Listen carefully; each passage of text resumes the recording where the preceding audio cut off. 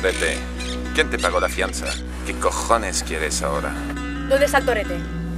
Está con Ángela, ¿verdad? ¿No te he dicho que no te acerques a Ángela? Recuperé la libertad, pero seguía preso de ti.